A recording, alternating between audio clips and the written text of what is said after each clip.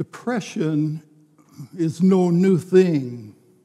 Probably everyone in here this morning has experienced it either directly or indirectly.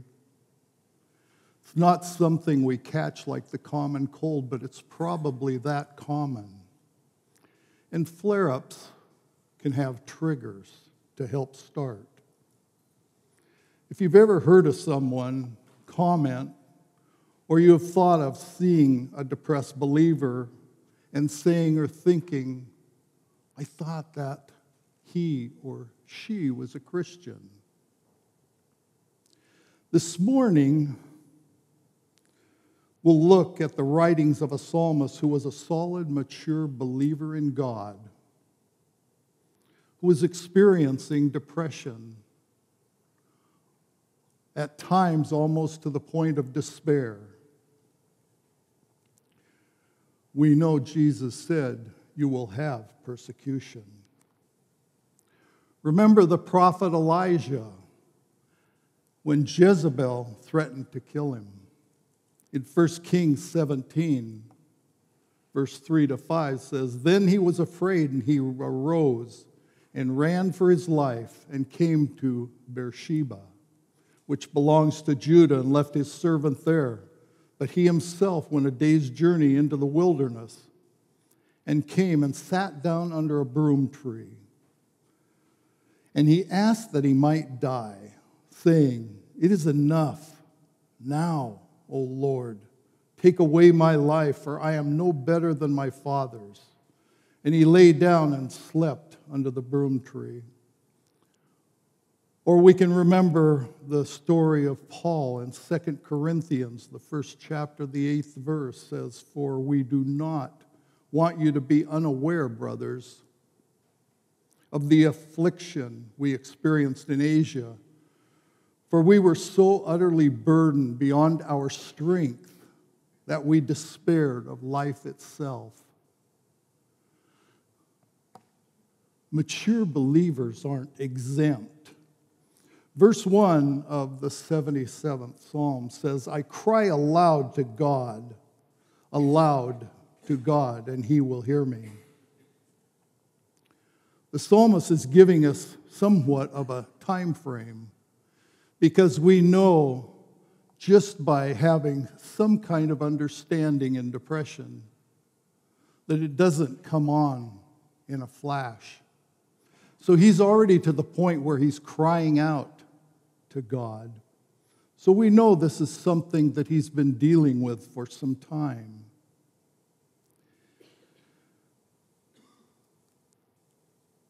One of the things that is perhaps curious about any time we go to the Lord in times of need, and maybe our quiet, polite going to Him and asking Him for help seeking Him for some reason.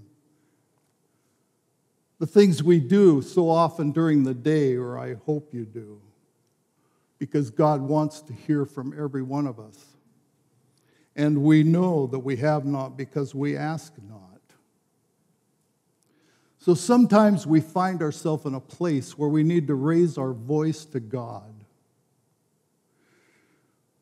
we shouldn't think that's a strange thing because there's an involuntary sense of pleading with Him, praying, crying out to Him, asking Him to help. The Hebrew literally says, My voice unto God indeed I cry out. My voice unto God indeed hearken to me. Just as God wants communion, communication with us, we have a built in need for communication with God. The psalmist is seeking the Lord, and at least when he prays, the way he prays in that first verse, he's believing God hears him. In verse 2, it says, In the day of my trouble, I seek the Lord. In the night, my hand is stretched out without wearying my soul refuses to be comforted. In the day of my trouble, we don't know when it began for him. but he's saying today. And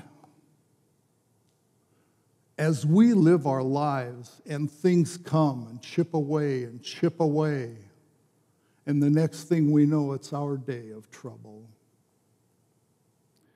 And this is the way depression would normally come rather than some great calamity that hits in an instant and suddenly we find ourselves without hope. Once again, the, Lord, the psalmist is making it clear he's seeking the Lord. The only way we can stay apart from the confusion and chaos, the turmoil of this world, is to regularly seek the Lord having personal time with Him, always stressing that that communication, that personal time with Him, is two ways. Because we're communicating with living God, even Jesus. The true believer has only one place to go in a time like this, and that's Adonai, my Lord.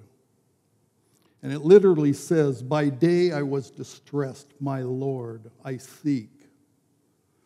The day and night reference indicates that the psalmist had no time when he wasn't distressed and had this.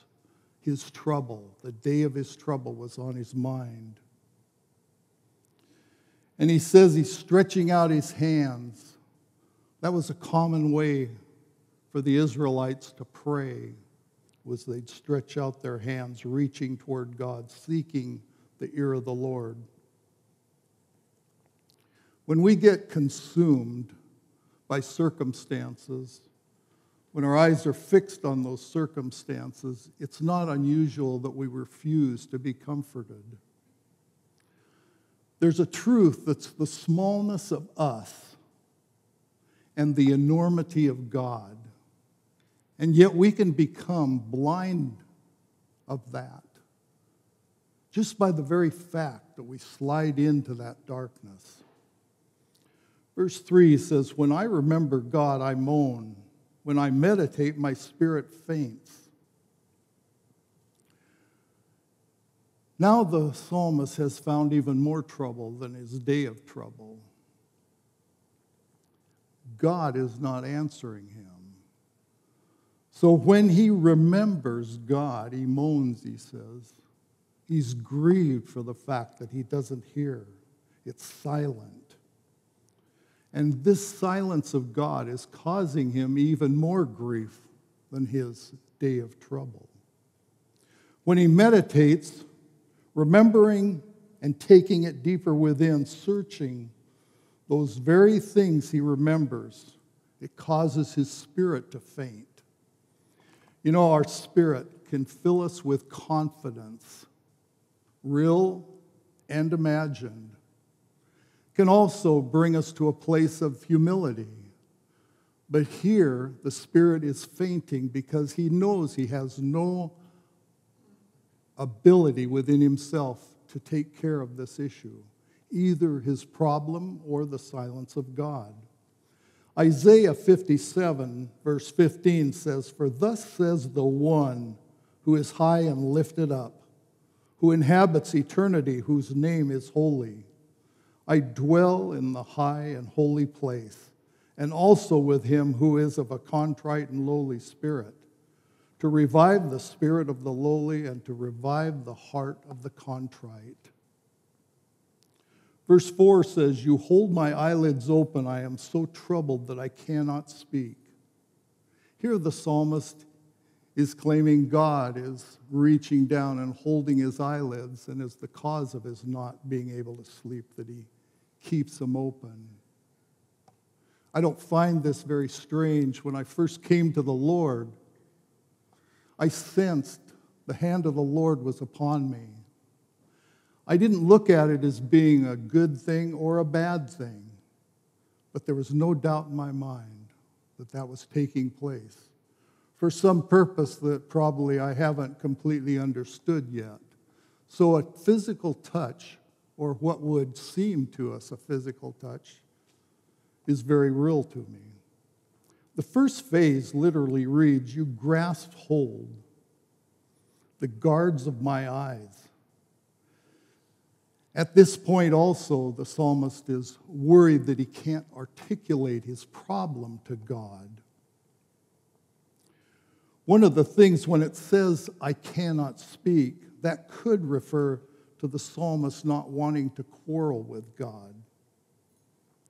When we repent and give our life to Jesus, and we begin to learn by faith about Jesus, and there's some core values. And as time goes on, if we think any of these core values that we've hung our hat on, so to speak, hung our faith on, and we think some of those are not true, it begins to shake our very faith.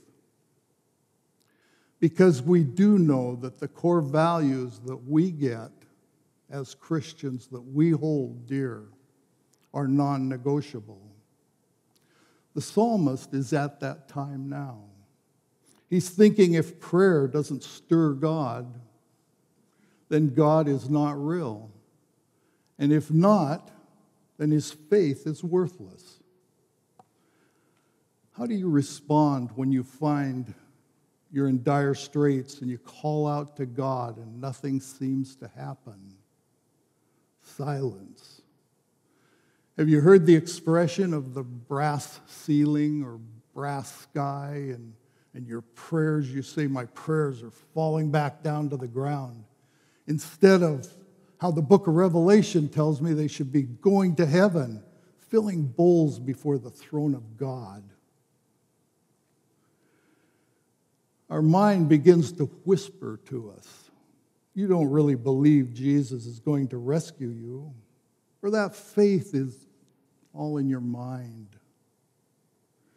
You see, depression focuses on the reality of God and it opens us up to temptations in the form of doubt and disbelief.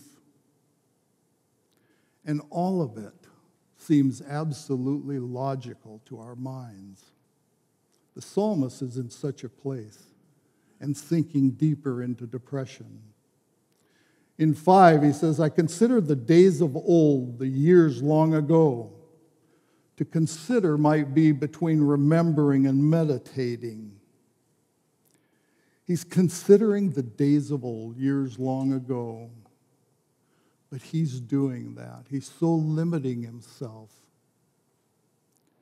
We cannot attain to the level of God. We can't attain to the things of God in our own mind.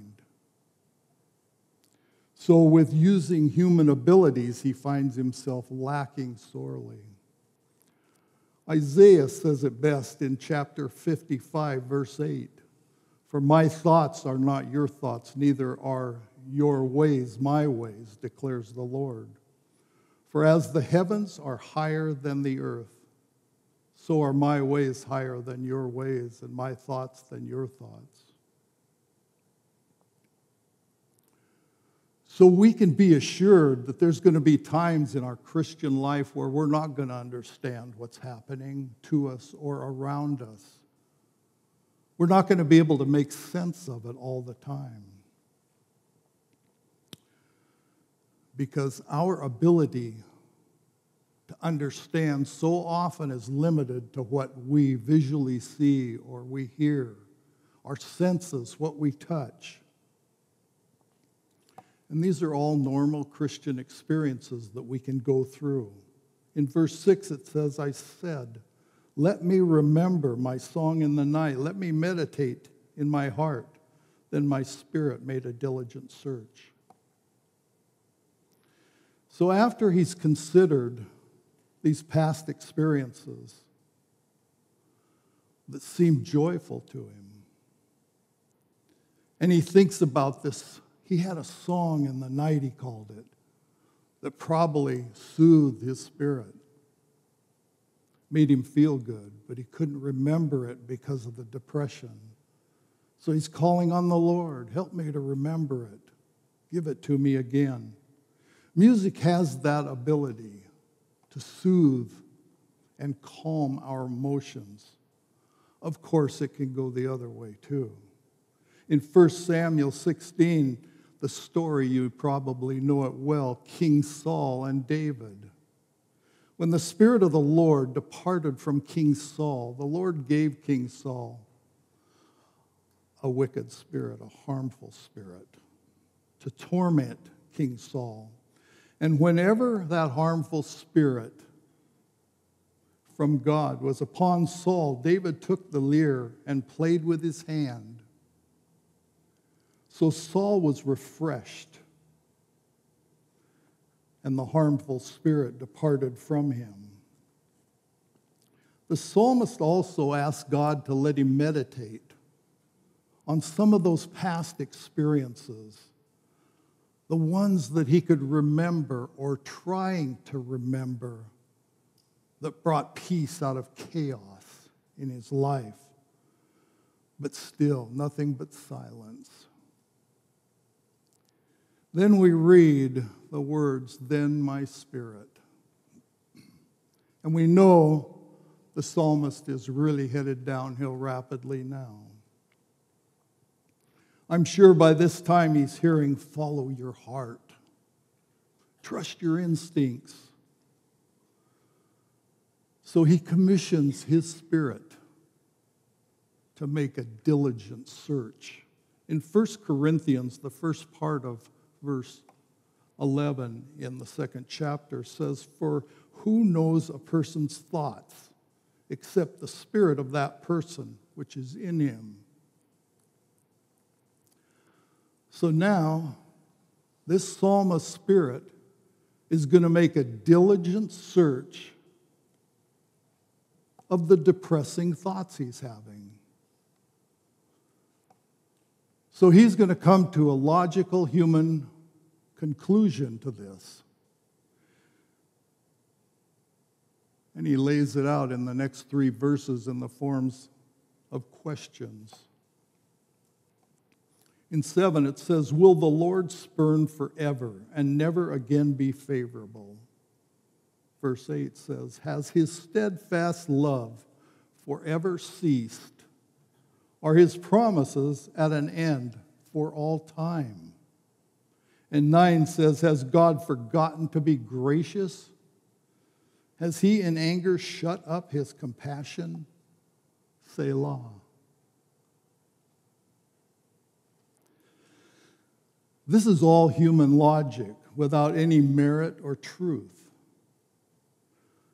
Here's the psalmist that's trying to be honest, He's searching for answers to the issues he finds, the problem he finds himself in, with the facts that he finds available to himself. He would say, In the past, I was given help when I prayed and asked God, this time, none. God has given me great songs of encouragement and wonderful, amazing memories but this time I'm empty without joy. I must have misjudged the faithfulness of God, the fact that He thought He was unchanging. Therefore, my only logical conclusion is that God changes and cannot be counted on in time of need. This is now, of course, overshadowing his day of trouble. This is bringing him to a place where his faith, he finds, is absolutely crumbling around him. When we find, if we find ourselves in a place like this, things begin to really move quickly. And our very faith, all those things that we were so sure of, begin to just vanish before us, begin to crumble underneath us things begin to shake and not make any sense. In Psalm 136, all 26 verses end with this promise For his steadfast love endures forever. In Genesis 12, verses 1 to 3, Now the Lord said to Abram, Go from your country and your kindred and your father's house to the land that I will show you. And I will make of you a great nation, and I will bless you and make your name great, so that you will be a blessing. I will bless those who bless you, and him who dishonors you I will curse. And in you all the families of the earth shall be blessed. Does this sound like a God who would make a promise like that is temporal? Or the Lord's covenant with David. In 2 Samuel chapter 7 verse 16 says, "But my steadfast love will not depart from him, as I took it from Saul, whom I put away from before you, and your house and your kingdom shall be made sure forever before me. Your throne shall be established forever. We always have to remember, and oftentimes when circumstances in our life start to get very heavy, start to get dark, start to take us in places we even know aren't true. We have to always remember that life can be hard and unfair but God is always good. When you're in that time, unbelievably, you can confuse those two. So we have to guard against that and remember no matter what is happening, God is good all the time. The importance of the unchangeability of God is foundational to our faith. And we are very blessed to be part of a church that believes in the Word of God, that teaches the Word of God, that's a scripture based church. And we have a pastor who doesn't answer to man, but answers to God.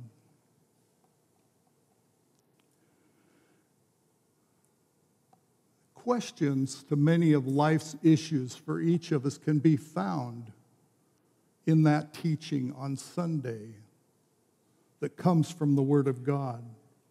The way the devil works in this day and age is very subtle.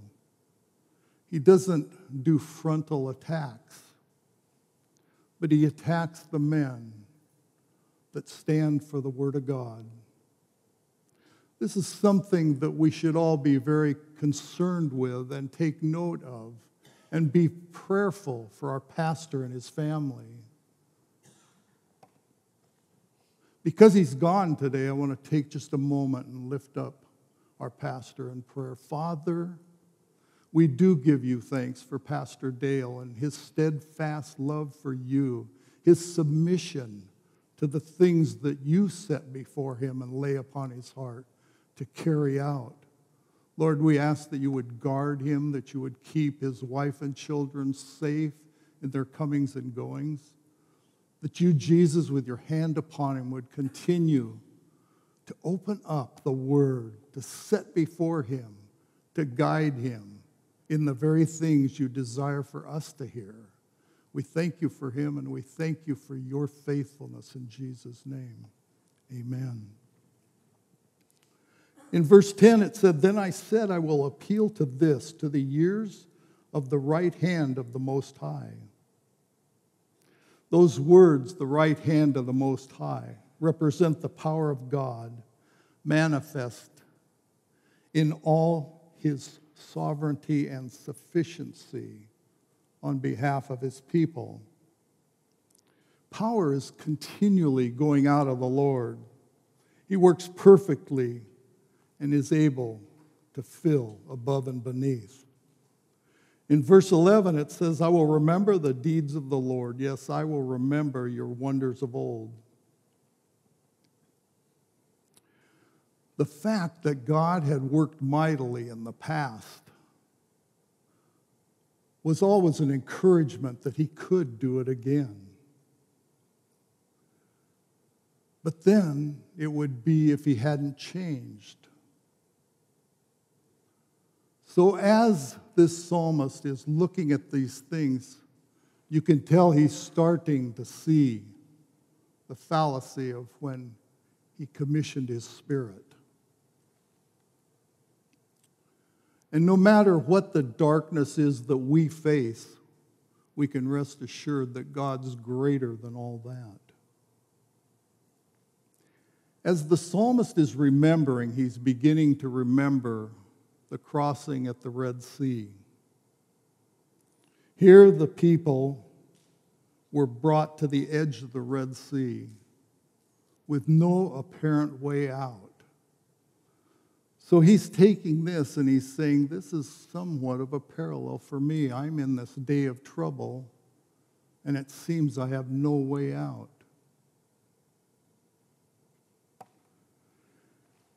But of course, God had the answer. His way was through the sea. Verse 12 says, I will ponder all your work and meditate on your mighty deeds.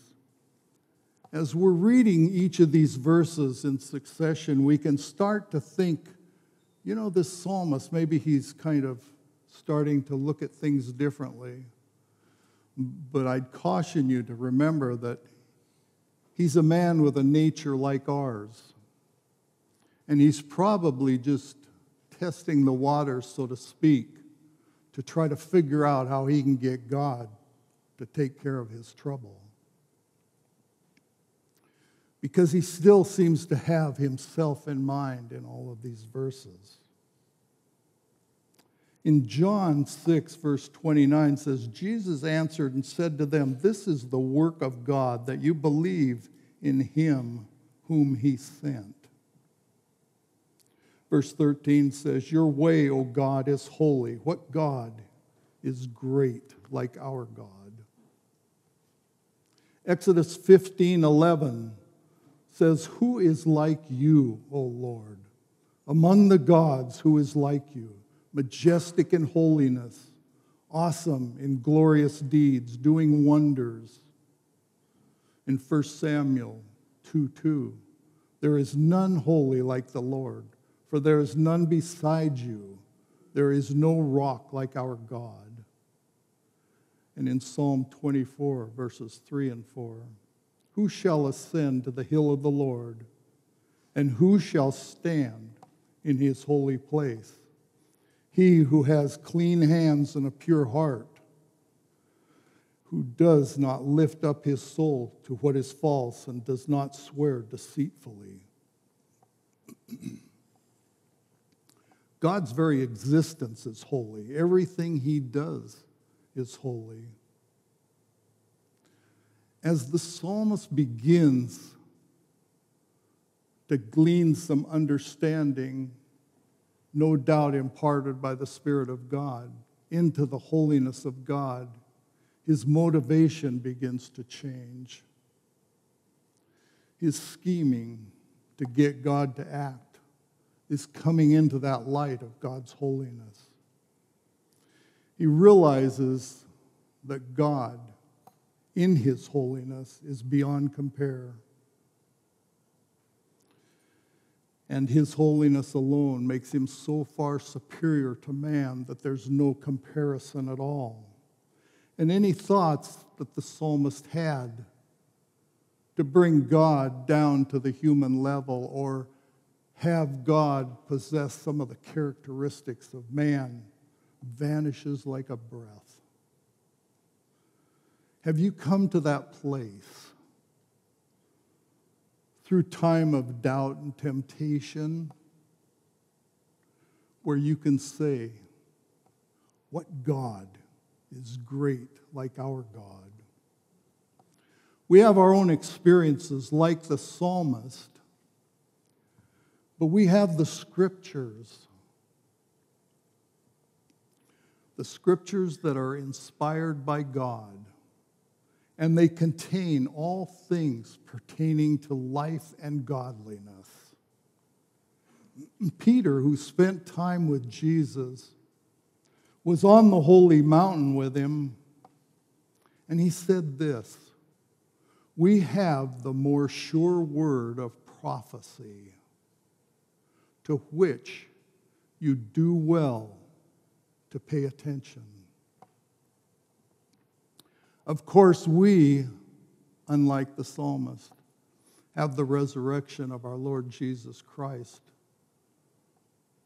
which our entire faith rests on.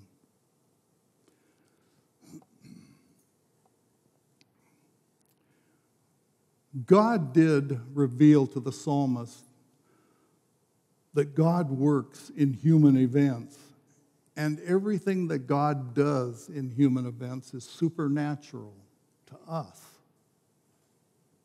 It also always has a purpose of redemption. Everything God does has that quality with it. He's always restoring people, bring them back. So you can always recognize that about God's work. In verse 14, he says, You are the God who works wonders. You have made known your might among your people. God brought back Israel to their land for so many years. It was written in Scripture, and yet, how many, how many commentators would read that and wonder, this is an impossibility. Why is it in the Scriptures?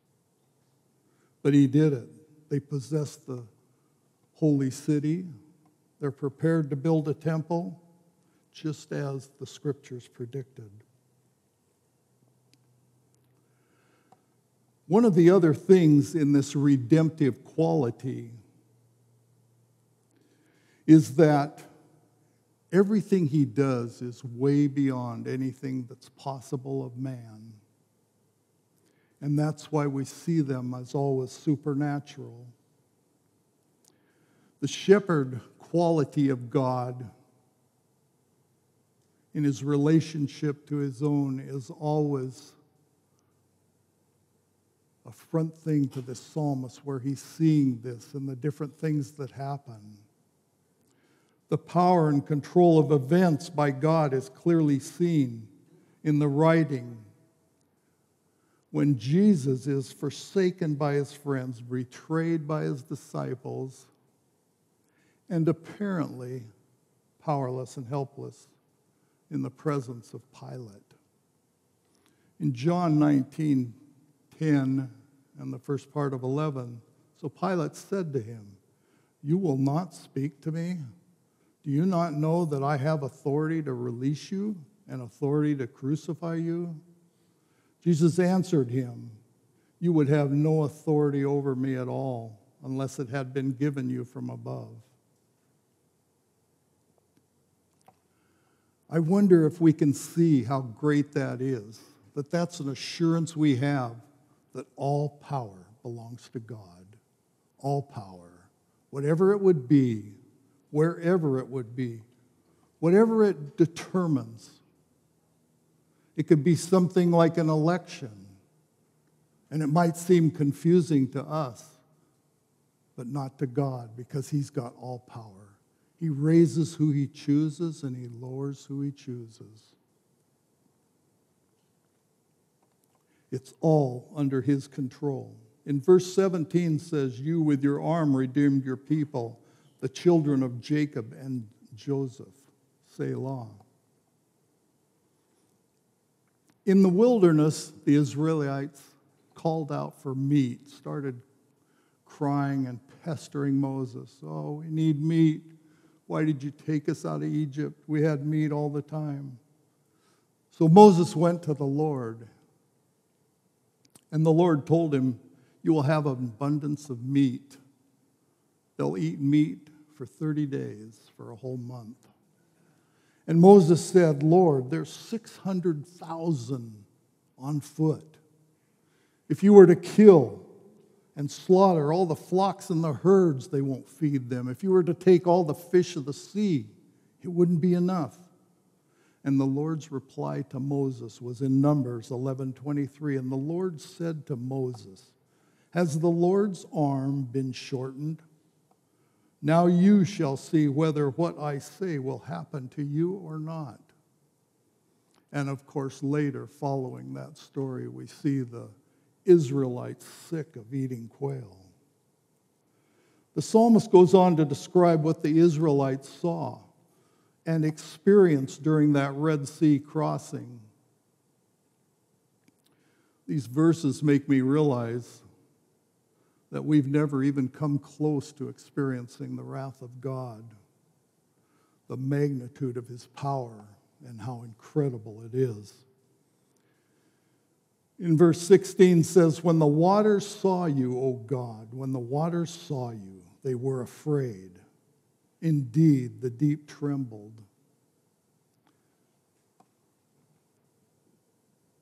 That in itself is, is pretty bizarre.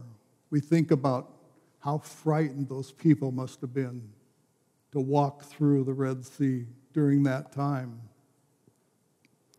and how much more frightened they were when they saw even the waters were afraid. The deep trembled.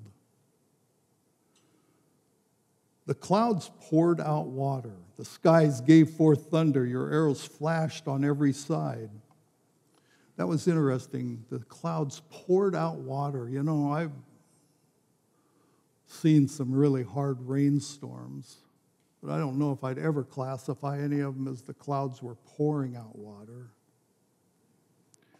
That must have been something. The clash of your thunder in verse 18 was in the whirlwind. Your lightnings lighted up the world. The earth trembled and shook. This verse, in the way it's worded, tells us that the lightning was everywhere, it's constantly going. And the fact that the lightning was going, then the thunder was just unbelievably loud, was one right on top of the other one, on top of the other one, never stopping to the point that the earth was shaking. The palm, the psalmist is coming to that realization that every force, natural or human, is under the control of God.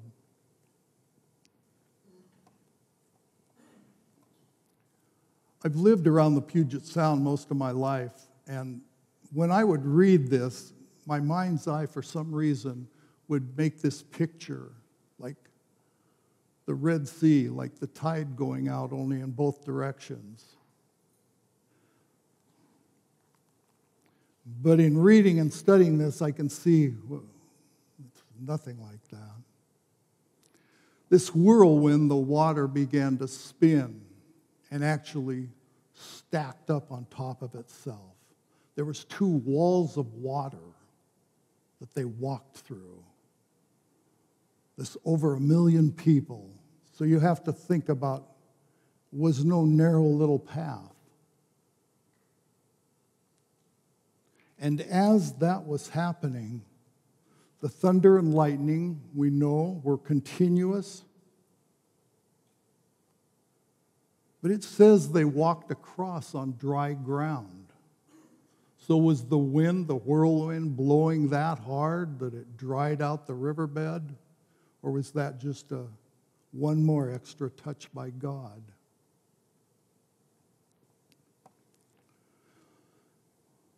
All of these, all of these things could only be possible by our God. In verse 19, it says, Your way was through the sea, your path through the great waters, yet your footprints were unseen. Here, the Israelites were led out by God. They knew that because of the plagues that God brought to get Pharaoh to let them go. What they didn't know or didn't understand was where he was taking them. And when they got to the Red Sea, that was yet very confusing. But God knew all the time exactly what he was going to do, the fact that he was going to go through the sea rather than around it. And it just shows that sovereignty of God in every event of human life. The inability to understand how God is working is no sign that God is not at work. The inability to understand what God's doing is no sign that He's not doing anything. In verse 20, it says, You led your people like a flock by the hand of Moses and Aaron. And here is where the psalmist really sees that shepherd heart of God. First Peter refers to that. Peter's the one that urged the Christians to watch for the coming of the chief shepherd. In 1 Peter 5 7 says, casting all your anxieties on him because he cares for you. Sometimes we want to follow somebody that's following Jesus. And we're looking for his footsteps. But God would tell us don't look down for those footsteps, but look up to see the Lord and what he wants, to lead you individually and personally as he writes his will on the tablet of your heart. In 2 Corinthians 3 3, it says, And you show that you are a letter from Christ, delivered by us, written not with ink, but with the Spirit of the living God, not on tablets of stone, but on tablets of human hearts. This psalm is very open ended in the ending. But it's showing us how the mindset of the psalmist and how his motivation began to change around verse 13 when he came to some understanding of the holiness of God. I think that in itself can transform any of our lives if we come to some kind of understanding in that. That is so set apart from anything we can attain to, anything we can be anything we can strive to. But it's the reason that God is who He is. Probably the key to this psalm is that if we, as followers of Jesus, when we come into circumstances that are hard, that are discouraging perhaps, or worse, when we enter into a time of depression, if we could get our eyes off of ourself and our circumstances and onto Jesus sooner, it would certainly help. It points to the fact that he, in that effort to do that, was looking at the things that God did. He was looking at his deeds, his works some of the past things. You know, we can count our blessings. We've all heard that one. If, if you're feeling low, count your blessings and sing a hymn. But sometimes that's not enough. But we have the scriptures.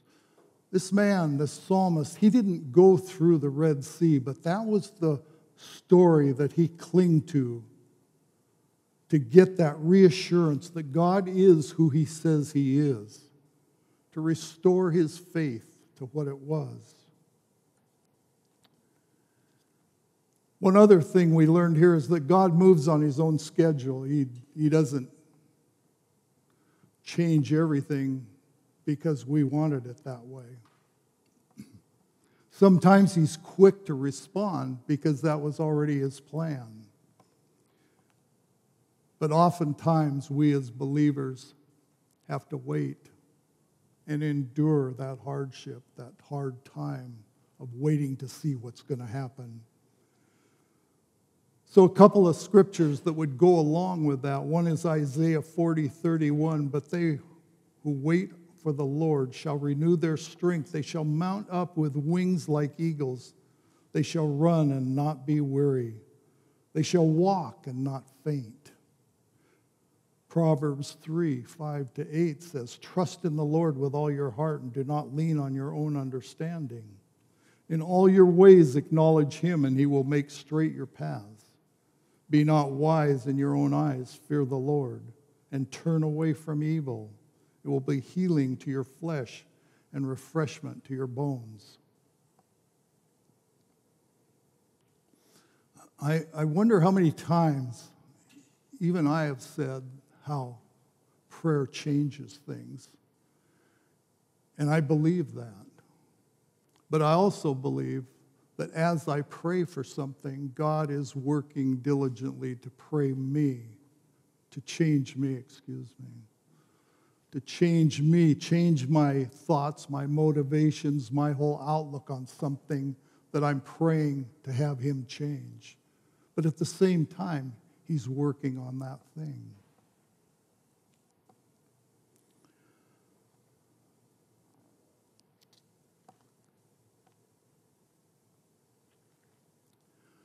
So we know that this psalm doesn't end with God rescuing our psalmist, but our psalmist does seem to have a different attitude in his day of trouble because now he can rest in that love of Christ.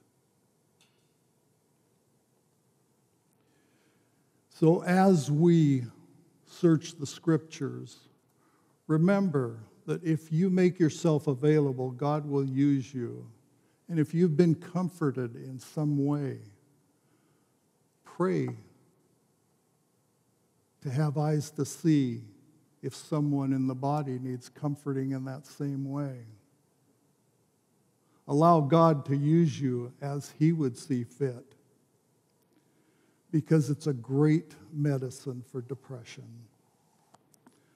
Father, this morning we look to you alone, who has the answer to all things, who is great beyond anything our mind can imagine. You stand alone, God. We praise you. We thank you. We seek, Lord God, to walk after the counsel of your will to continue to love you and love the body, to make ourselves available that you, Lord, can bless others.